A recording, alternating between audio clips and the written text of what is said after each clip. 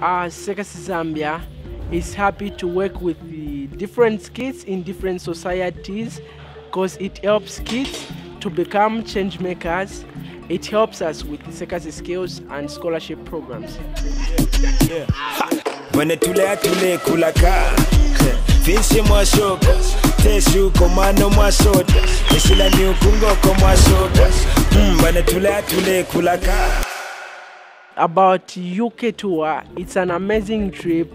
I'm very surprised. My dream has come true. I made it from Chibolya. To those people who are not part of us, what I can say is that Circus Zambia it helps many young people to become change makers in different communities. We are also happy to work together with those who are not part of us because we are interested to share our skills with them so that our communities can uh, develop.